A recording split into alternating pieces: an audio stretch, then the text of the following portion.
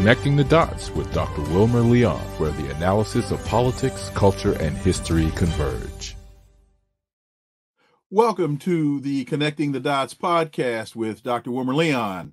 I'm Wilmer Leon.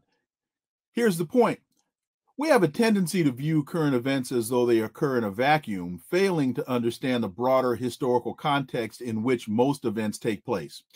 During each episode of this podcast, my guests and I will have probing, provocative, and in depth discussions that connect the dots between current events and the broader historic context in which they occur. This will enable you to better understand and analyze the events that impact the global village in which we live. On today's episode, we will discuss the recent Belt and Road Forum for International Cooperation. Recently, over 500 people were killed as a result of an uh, Al Ahli Arab hospital bombing in Gaza, and the U.S. has provided Ukraine long range ATACMS missiles. For insight into this, let's turn to my guest. He's a Moscow based international relations and security analyst, Mark Sleboda. Mark, let's connect some dots. Pleasure to be on connecting the dots.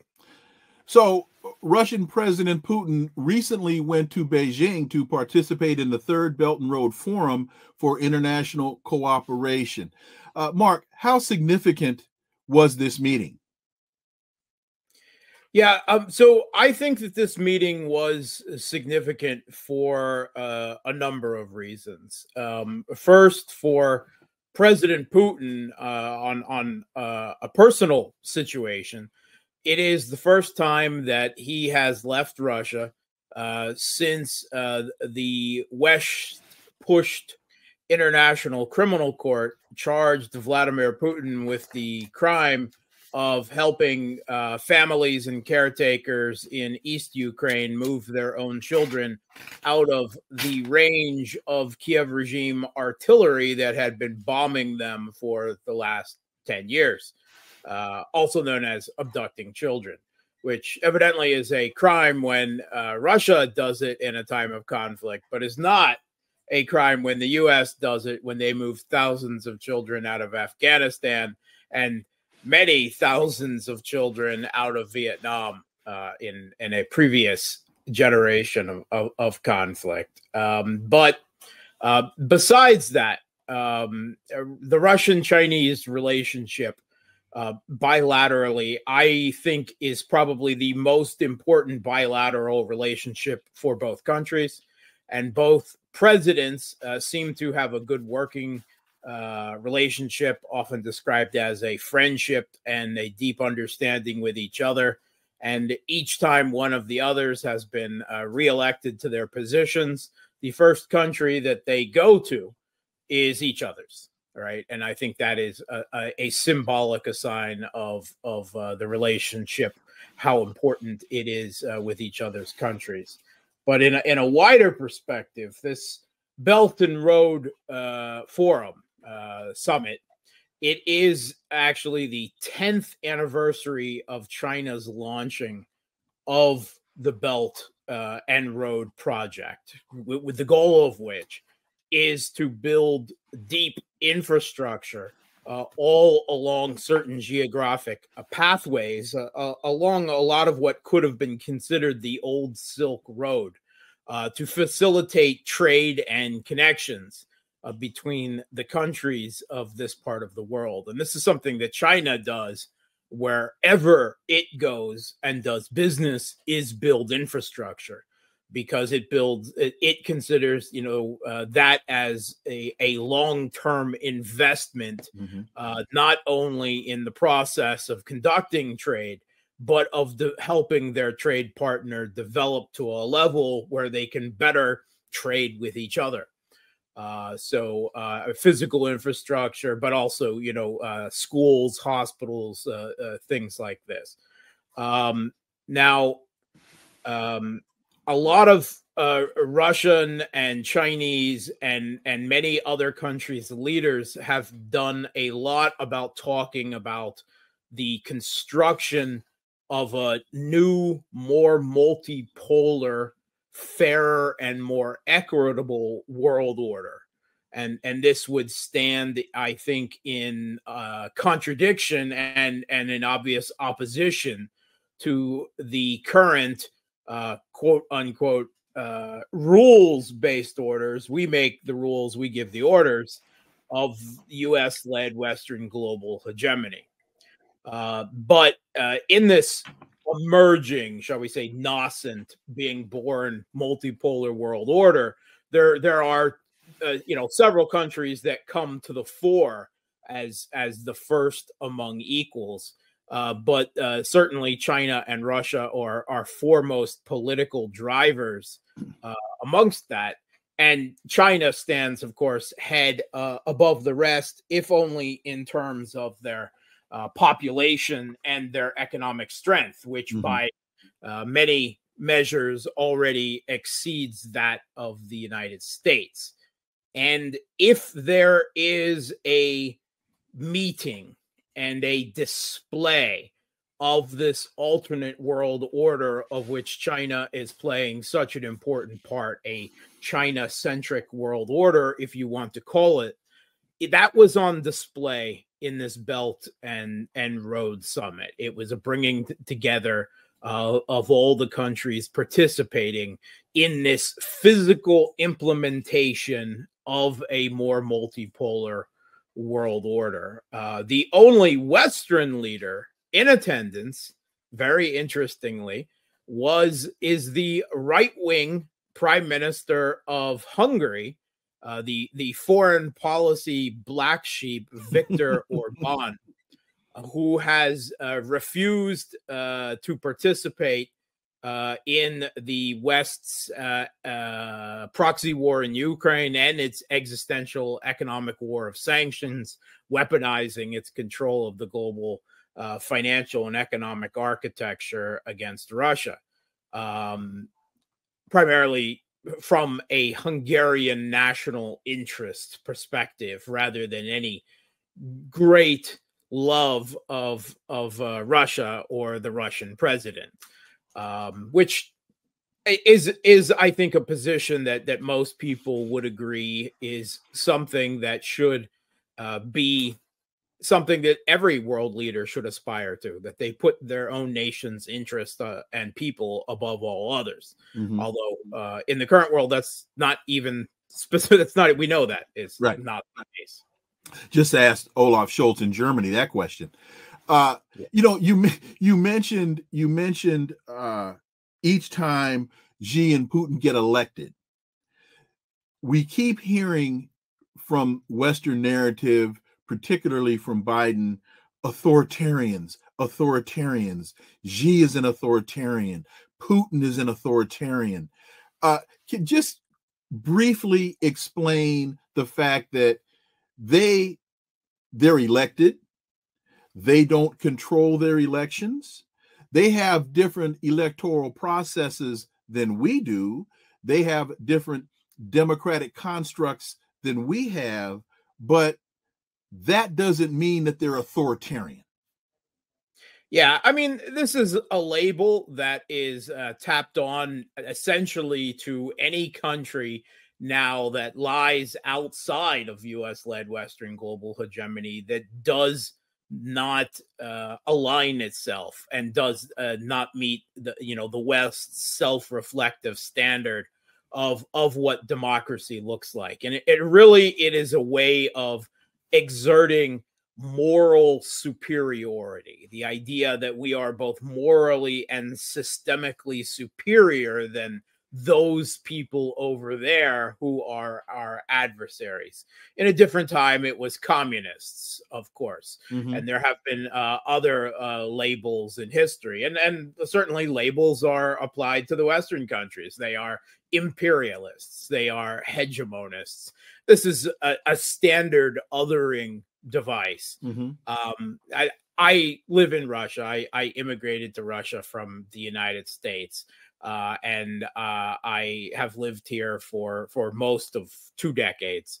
Um, and I I have to be honest. Um, after having some experience as a volunteer uh, for the U.S. Democratic Party, I find that politics in Russia, on a whole, is no more or less substantive uh, than uh, you know the democratic nature beneath the sheets of of politics in the United States.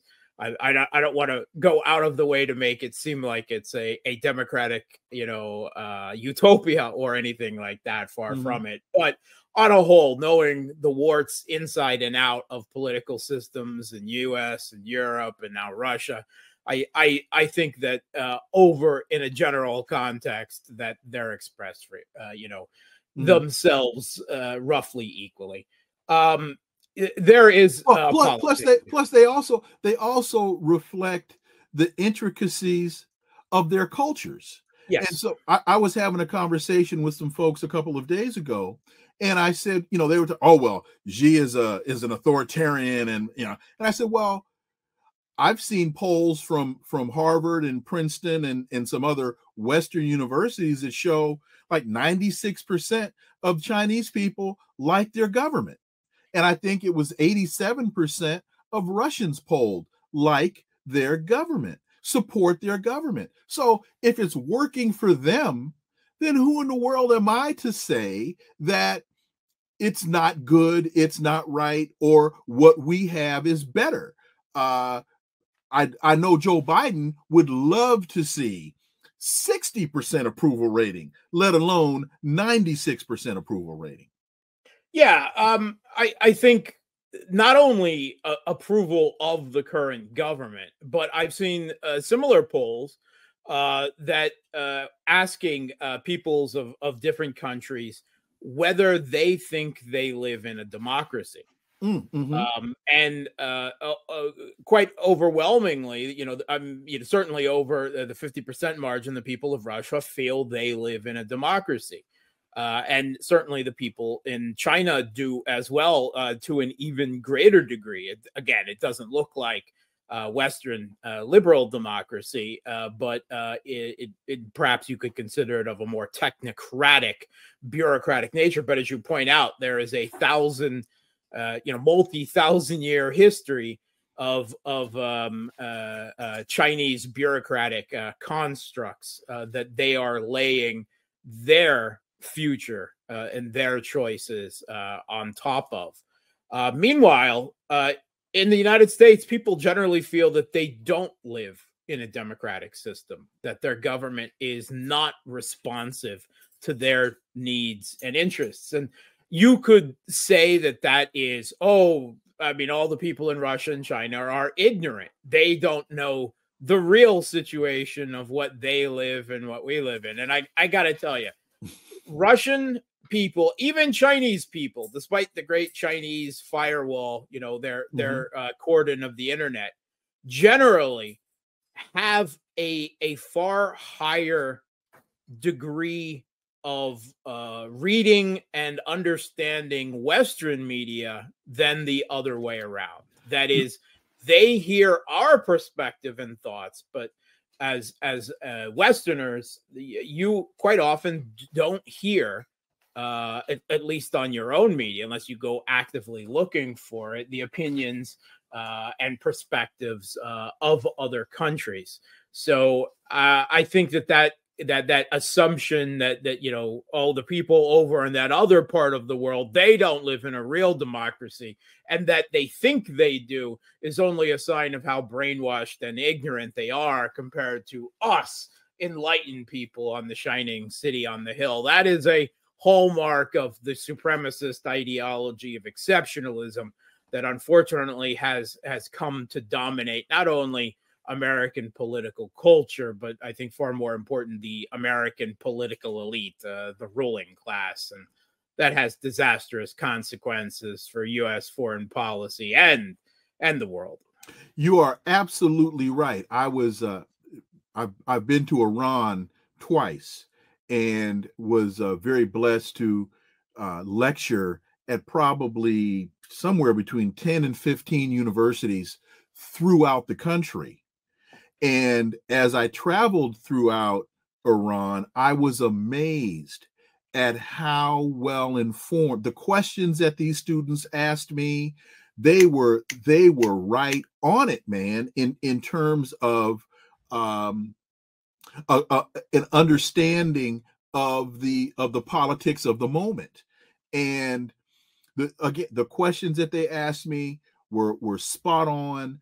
It indicated that uh, they were going beyond the rhetoric they were going beyond the talking points and and uh, it, it was shocking to me how well informed in spite of the wall that you talk about in terms of um in terms of the internet they were on they were on point man yeah I, I think it's interesting that this label is applied to adversaries like mm-hmm. russia and china uh you know russia which which has opposition parties and elections they don't do very good right now because since the economic catastrophe of the 90s i think the russian population has been more united in their political vision of a path out of that and forward and and retaking what they see as as uh you know their place uh in the world you know mm-hmm. after the the self dissolution of the Soviet Union. Uh, that will not last forever, right? And and a lot of people question whether it will last after Putin uh, at all. Uh, you know, but th- there is, uh, you know, opposition uh, political structures. The biggest opposition political party in Russia is the Communist Party of the Russian Federation. Uh, you know, which uh, polls, you know, uh, generally uh, somewhere around 15% of the population. Uh, but um, and and in foreign policy, it must be said they they largely uh, agree with uh, the current uh, uh, government of, of, of Vladimir Putin. But in domestic issues, they constantly fight for the Duma for things that leftist parties always fight for. Um, for you know more social benefits, more spending on education and medicine and other things, and if anything, I think probably the communists would probably, if they were uh, uh, leading the country, would probably take a more hardline foreign policy uh, position than than the current government. Um, I think that when the U.S. Wait, applies wait, these, wait, wait, wait, speak speak speak, uh, speak to that because yeah. a lot of people listening to this will say, "Wait a minute, a harder line than Vladimir Putin? Oh my God, you can't get any more, you can't get a harder line than that. When the people making those observations have never listened to the man, have never read any of the speeches that he's given. And so they again, he's evil, he's he's uh uh he's he's insane, uh, you know, all of these, he's a dictator, all of these kinds of things yeah uh, again uh, the fact that they don't hear what vladimir putin has to say for himself because the western media specifically does not reproduce it for them. And i have to say that russian media does this. I mean there are still government funded projects InoSMI that translate word for word Western articles in uh, uh, uh, print media and uh, you know televised, and put it out there for Russians to listen to, not only from the United States and Europe, but but from all over the world. That that tradition doesn't exist on the West. It's not that it is you know uh, banned, although in some cases in Europe, RT and Sputnik are banned, uh, aren't they? Uh, or or uh, mm-hmm. you know everything is done to take them off the airwaves as as is done in the United States, and of course not just with RT and Sputnik, but now with um, uh, Press TV from Iran. Uh, and there are calls, of course, to do the same to uh, the Chinese CCTV and and now even Al Jazeera in the current climate, uh, because uh, as the uh, state media arm of uh, Qatar, they are now seen as as being uh, anti-Israeli. Mm-hmm. Uh, so uh, a very similar phenomenon is is now taking place. And and in a, a, previous conflict, there was very much the same argument being made about Al Jazeera over the situation in Iraq. So this rears its head mm-hmm. Uh, regularly. Um, but why is the authoritarian label not linked to actual authoritarian countries that is dictatorships that are politically or geopolitically allied with the united states right uh, saudi arabia qatar the uae these are are states that are starting to diversify their foreign policy, right? Uh, you mm-hmm. know, uh, Saudi joining BRICS and uh, the Shanghai Cooperation Organization as a dialogue partner and identifying China as their most important trade partner. But still, they they are very much linked to the United States, and certainly they have been for decades. Uh, Qatar has uh, a giant U.S. Uh, army base. Uh, similarly, uh, in in Kuwait, uh, the UAE, why are the actual monarchic, uh, uh, oligarchic dictators of these countries not referred to as authoritarian? Because the label is more about is more about oppositional geopolitical alignment than it is uh, in domestic any, domestic government leadership. Yeah, any real assessment of their domestic political system. And I have I mean, to say, M- MBS is chopping heads. Yeah. I mean, literally, as, as a veteran, eh, chopping more than heads. These these bone sawing right. right. Um, as as a, a veteran, well, I'm, I'm both a military, a U.S. military veteran, and shall we say, a veteran of the U.S. political system. With the all the warts that the U.S political system has with its systemic uh, suppression of third party movements. And I'm talking, I mean, Americans don't even know this for the most part, that, but their own two parties of power, the Republicans and Democrats, regularly sue third uh, third parties to keep them off the ballot. Right? I mean, they they regularly go to court every election cycle to keep them off the ballot. And you know the the whole structure of 50 uh, separate elections uh, and uh, the intricacies run by the party in power, either the Republicans or the Democrats in the state, does everything possible to prevent the emergence of any other voice than those those two. And the electoral college and the eternal problems with uh, campaign finance and lobbying but Americans somehow feel their political systemic superiority so strongly that they don't even think when their political and media elites judge the political system of another country and and as far as uh, most Americans reflexively are concerned they think they are the only democratic country on earth and the only good people, which is really kind of another iteration of we are the chosen people of God political meme throughout history. What is more authoritarian than not having a presidential primary in a system that is based on primaries? What is more of a dictatorship than imposing Joe Biden upon Democrats instead of holding a primary? I look at what the, look at what the Democrats did to Bernie Sanders during the Hillary Clinton campaign. Uh, hence, Julian Assange's email leaks, which demonstrated all the machinations that the Clinton campaign went through to see to it that Bernie Sanders could not uh, become the Democrat nominee. What is more authoritarian than that? I, I got to tell you, um, am I right?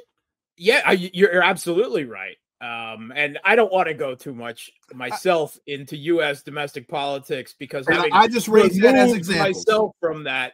I don't want to cast stones. I don't necessarily sure. okay. feel that it's my place to. But I'm actually a confession. I'm I'm originally from uh, Scranton, Wilkes-Barre, Pennsylvania. That's where I was born, anyway. Mm-hmm. That's also Joe Biden's hometown, mm-hmm. where he was born. And um, I I distinctly remember the video. I mean, I was too young at the time to remember it politically, of course, but I've seen the videos of Joe Biden um, uh, running uh, for uh, um, uh, Congress uh, um, admitting open right that uh, the system is corrupt, that corrupt people are elected to office, and that at the time the only reason he wasn't corrupt is is because uh, he wasn't given the money by the you know the oligarchs by the uh, you know the rich uh, of the country that he had asked for because he was too untested of yet. But that if he was he would have taken. I mean that i, I think there is no greater condemnation uh, of of the us political system than admissions like that coming from the very uh, you know uh, seat of the president or i mean shall we take the words of prior presidents, Jimmy Carter coming right out and saying, America is no longer a democracy, it is an oligarchy. You mentioned that President Putin went to China for uh, for the conference, and that this was the first time that he had left the country in, in quite a while. That to me uh, speaks volumes in how comfortable he must be in the midst of the Russia Ukraine conflict. His country is at war, and he feels comfortable enough to leave his country, go to China for a couple of days. Uh, that to me says that he's comfortable not only in his position domestically, but he's also comfortable in his country's position internationally. Yeah, I, I, I don't think uh, Putin does. Uh, he, he perfectly understands. I think as a leader what he knows and what he doesn't know, and he has made it quite clear that he does not micromanage his generals uh, in in the conflict and you know, in the intervention, the special military operation, uh, as they call it, uh, in Ukraine, the intervention in the Ukrainian civil conflict that uh, has been going on for a decade. Also, of course, neither Russia nor China, nor it must be said, or the United States or India are uh, um, uh, part are uh, signatories to the Rome Statute of the International Criminal Court. Uh, so uh, that is is not an issue uh, on the trip. In fact, when uh, the International Criminal Court tried to bring charges against the U.S. U.S. leaders and military leaders for crimes, alleged crimes, yeah, committed in Afghanistan and Iraq they they sanctioned the court, they sanctioned the judges, they they sanctioned the prosecutor. Uh, they threatened to remove funding from the, uh, the United Nations. They put arrest warrants out uh, for the judges and the and the prosecutor until the issue was withdrawn. Uh, and that I, from my understanding, is is there were even threats made uh, against uh, the, the, the families uh, yes. and lives of um, Bensouda is was the yes. judge. Yes, I, I, don't remember her first name, but but uh, but her last name is Bensouda, and her family was sanctioned and threatened.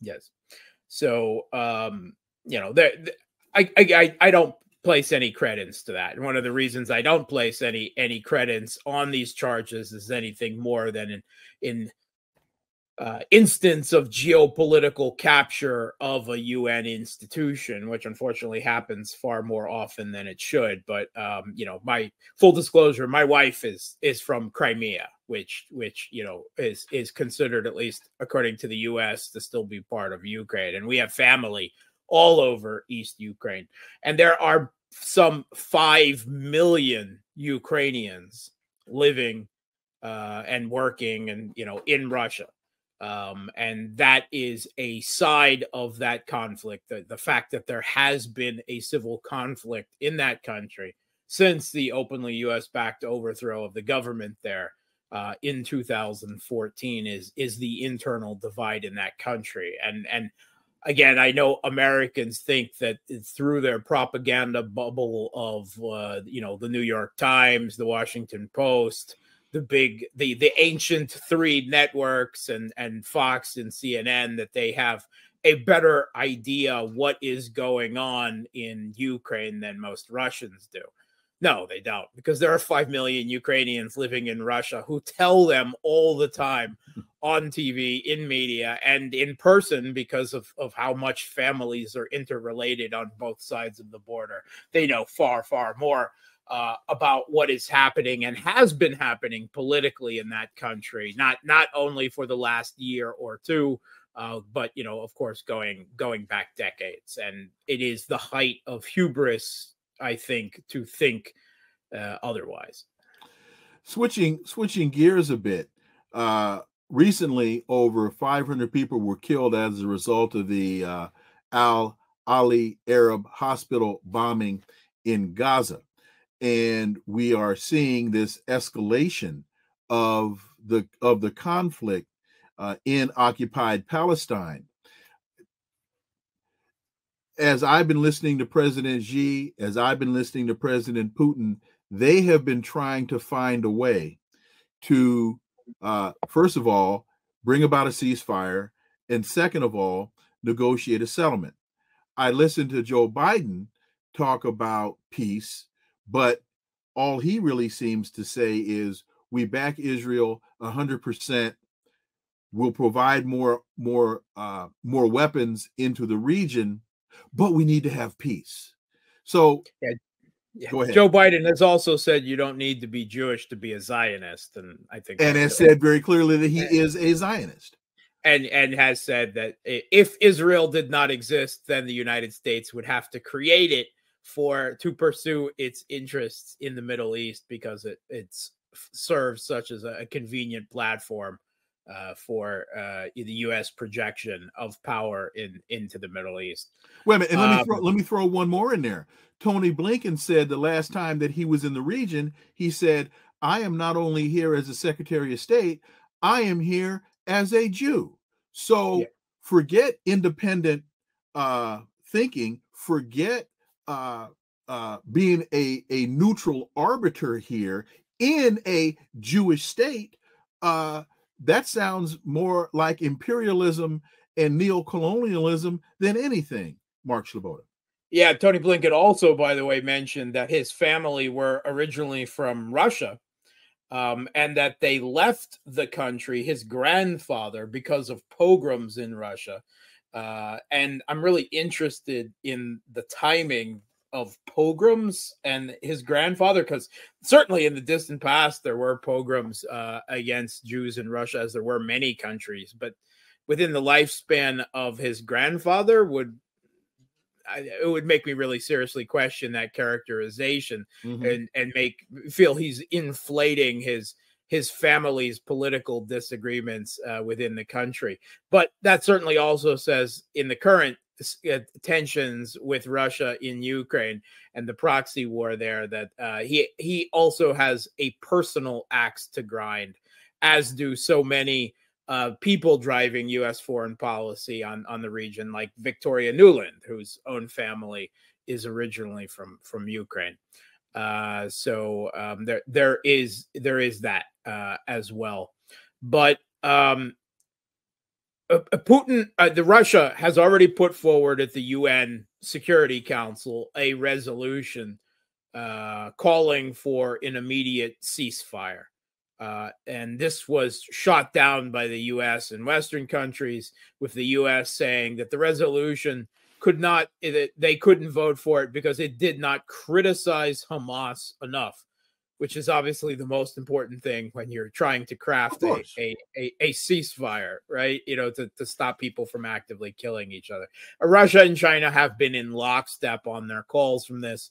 They, to a certain extent, have been trying to be neutral in the sense that they are uh, refraining from, I think, overt criticism of one side or the other in the interest of attaining that ceasefire uh, Brazil, by the way, also put forward a UN Security Council resolution calling at least then for humanitarian ceasefires, and that was actually vetoed uh, by by the United States, uh, and as well as uh, uh, France and the UK in in lockstep uh, there.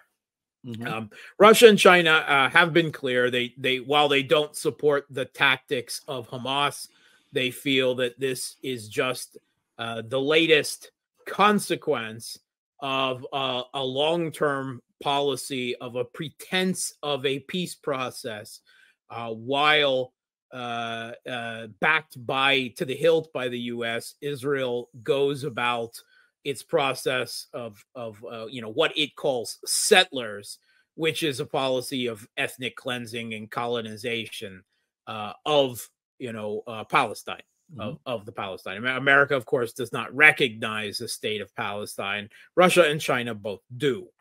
Um, and they think they've made it clear that this is a result of the West right? Eh, the, the, world, but most importantly, the West, because they're not doing not recognizing the Palestinian state, not granting its sovereignty and its own borders and its right, of course, to defend its own country and borders uh, and people, a right that they extend to Israelis, but not not to Palestinians, uh, because uh, you, you will you will hear from multiple U.S. Uh, uh, politicians and and uh, political elite uh, that that they don't believe that the Palestinians are a people, and to which I would say you really really need to go visit Gaza or the West Bank then. And Americans also seem to not understand, and I'm not so sure it would make a difference. Maybe it would mm-hmm. that a third of the Palestinians are actually Christians. I mean, this would, would would that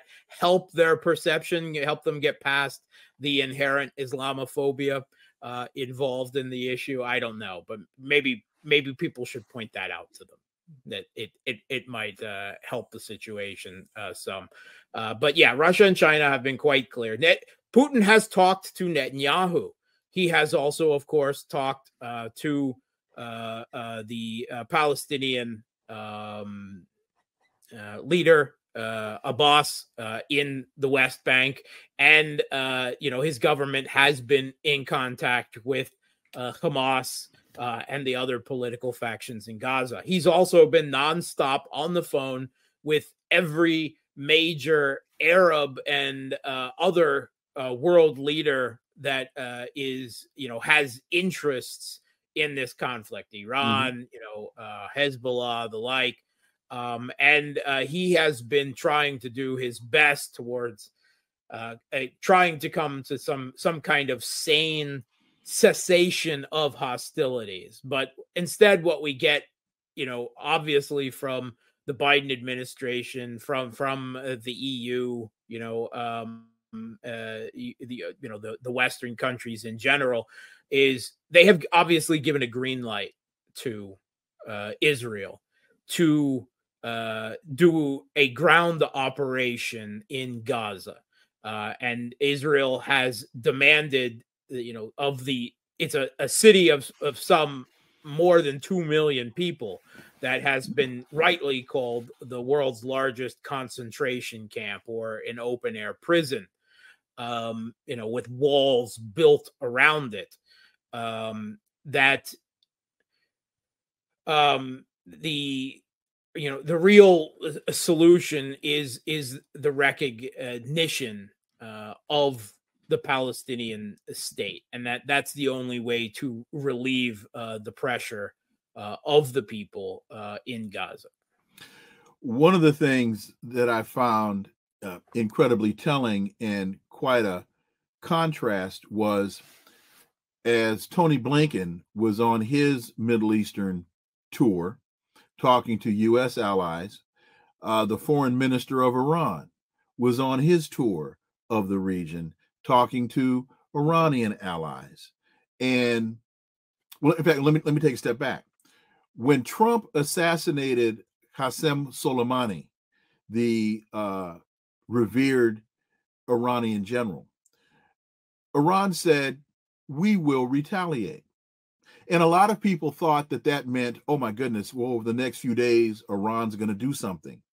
And Iran didn't do anything. Now we've got Tony Blinken. He was on his trip. Joe Biden was there on his trip.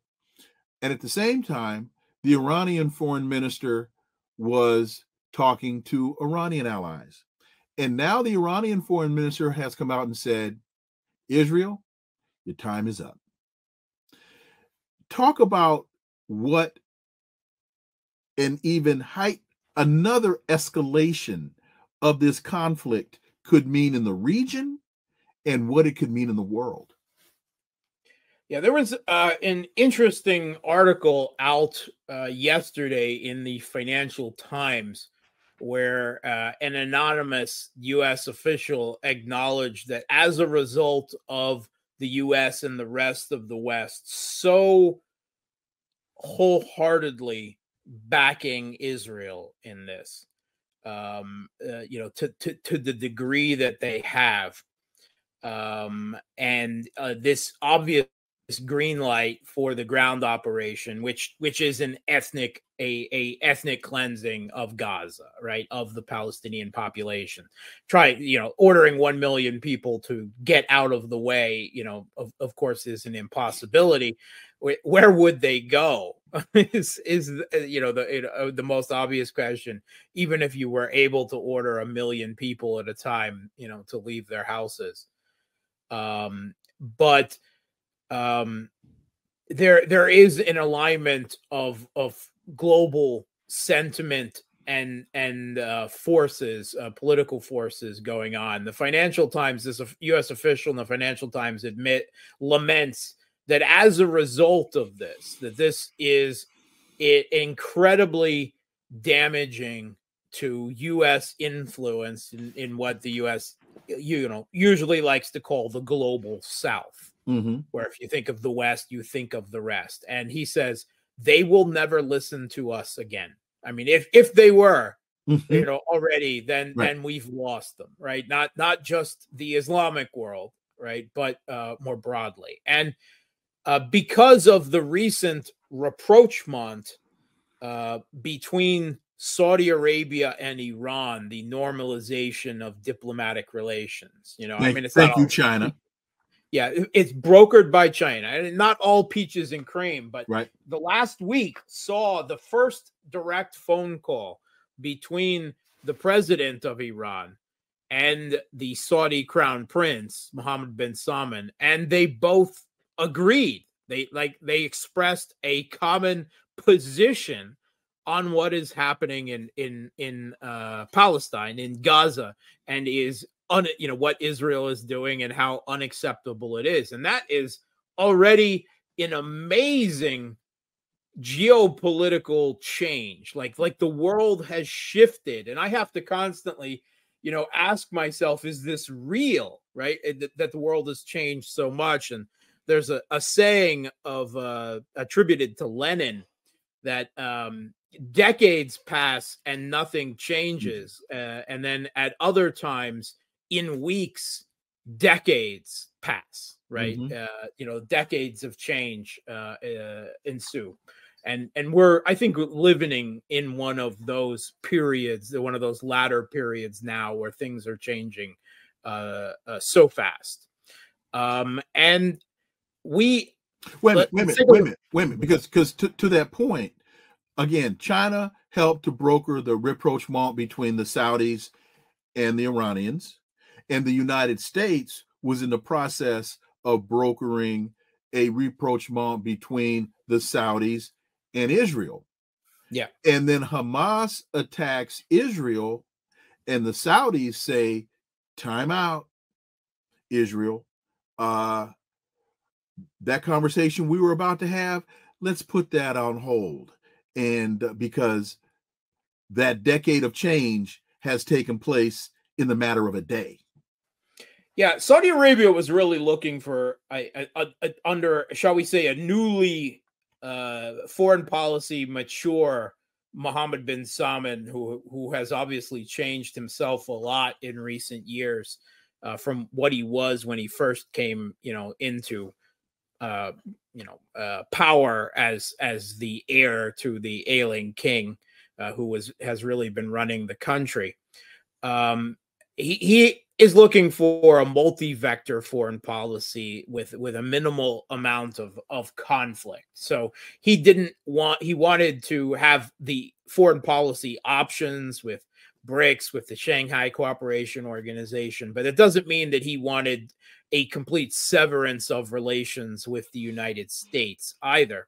And since the Trump administration, the US has been pushing very very hard on uh, their policy of trying to get Arab countries to uh, recognize in Israel and to uh, normalize relations, uh, diplomatic relations, and others, which would also be tantamount to accepting Israeli occupation of large parts of Palestine and ever increasingly more so. So you can see where the Palestinians uh, uh probably regarded a normalization deal being uh, pushed by the U.S. between Saudi Arabia and Israel as an existential issue for them because as you know uh, by many standards the most important sunni islamic country because of its holding uh, not only of of you know world's energy reserves with oil but also the two holy mosques um, the way Saudi Arabia goes, the rest of the Arab, the Sunni Arab world uh, would would inevitably follow, and that would mm-hmm. end any hope of Arab support uh, uh, for them if this deal went through. It also, by the way, the sweetener is a security guarantee deal with Saudi Arabia, which would effectively elevate Saudi Arabia in uh, security technical terms to the status of, of the relationship between the U.S. and Israel, i.e., uh, preferential deals on weapons systems, access to more advanced military technology, full access to intelligence, training. Uh, you know, all the, all everything that the U.S. provides, you know, now to Israel would also be provided at the same level, the same prices, and and so forth uh, to more or less to to Saudi Arabia. That was mm-hmm. the sweetener of the deal, and I believe that Hamas's motivation in the it, they they killed civilians. I mean, there's been a lot of I think mm-hmm. obvious you know beheading of babies. Eh, that's Kuwaiti incubator baby type disinformation and, and ties to demonization. But that's not to excuse that that they use terrorist tactics. They killed civilians. On oh, the other and, hand, wait a minute, and don't forget the the Russian killing of babies in the Ukraine hospital, the women's hospital. That wasn't a women's hospital. Yeah, um, that that is, I, I think, uh, a case for the point again for the way the U.S. wages information war, mostly against its own people uh, which is is another uh, uh, uh fascinating uh, and a rabbit hole uh, to go to go down. but I mean, it's not to say that Israel doesn't routinely kill. I mean, on a, on an right. essentially daily basis, Palestinian civilians, right? you know, through its process of settling, ethnic well, it, cleansing, political. It, bull, it bulldozes villages. Yeah. yeah. Indiscriminately arrests, detains people without charge and basically regularly summarily executes people who resist right. that. Yeah. Right. Right. Um, so anyway, I believe that Hamas's primary motivation in launching this attack, right, a mm-hmm. wasting uh, uh, military resources that they had spent years uh, building in mm-hmm. secret, right? Mm-hmm. Plans that they had the timing of this tells me that it was to prevent that Saudi Israeli mm. rapprochement uh, deal being mm-hmm. pushed by the US from going through because they saw it as an existential for them. And if that was the goal, then it has been successful because as a result of Saudi's unpropor- you know disproportionate response uh, to you know if they had if Saudi if uh, Israel had said we are going to do a targeted anti terrorist operation in Gaza against the uh, Hamas and Islamic Jihad leadership who were responsible for this and the people who carried it out. I think there would have been a very different global reaction to this if instead we didn't have Israel Israeli leaders saying that we're going to destroy Gaza, that we're going to wipe Gaza off the face of turn of it to earth. dust, dust, and that all Palestinians, uh, civilians, are the enemy. We heard that from Naftali Bennett. You know, mm-hmm. um, uh, that is. Uh, you know, uh, w- would have been a, a very uh, different situation, and there is, I, I, I think, a much more substantial reaction uh, not only from the usual suspects, right? We we've heard that from Hezbollah, right, in southern Lebanon, uh, the the uh, Sufi uh, sorry, uh, the Shia uh, organization uh, uh, there um, that uh, is demonized wrongly Mhm. uh, in this particular case because it doesn't use terrorist tactics uh, by the U.S. and Israel, and re- no country in the world really outside the West as as a terrorist organization. That if Israel goes a ground operation and begins cleansing Gaza, then Hezbollah will open up a second front war on the Israeli north, um, and and then there will be a two. Uh, Iran has voiced very similar Mhm. that uh, uh, prospects that uh, if the Israeli government's atrocities against the Palestinian people, which as a result right now are uh, approaching 4,000 dead, which by the way is almost four times uh, the, the number of people that uh, the uh, Hamas's um, uh, Operation Al Aqsa flood uh, attacks killed you know four times so Mhm. obviously proportionality is not an issue when it comes uh, to israel but that iran uh, would feel the need to intervene. We've heard even further surprisingly from the government of jordan and the king of jordan right? Mhm. not not called authoritarian by the way. Uh, but because he's been he was um, educated in Oxford. I mean, he's largely regarded across the Arab world as as a Western puppet, right? As a a uh, a Western aligned Arab leader uh, with a very large Palestinian refugee population and and a people who feel very close to that situation. Jordan has come out and said that if Israel looks set to drive the Palestinians out of Gaza, as they appear to be planning to do, Mhm. then Jordan would consider it an act of war. Which, which I mean, th- that totally surprised me Mm. coming from the modern. Now, a lot of it is probably motivated out of self-interest uh, of the Jordanian king. Uh, if I don't react the way my people want me to, they will overthrow me to, in order to be able to do something. But regardless of, of his personal motivations for it, it is certainly something I did not expect. Um, and if Jordan does so, uh, other countries around will become involved. And then there's the prospect if other countries, or say Hezbollah as an organization, becomes involved, that the U.S. becomes involved. The U.S. has two aircraft carriers, uh, or well, the second one steaming on its way uh, to uh, the Israeli coast right now, uh, as well as a uh, marine uh, amphibious expedition ships with some at least 2,000 Marines.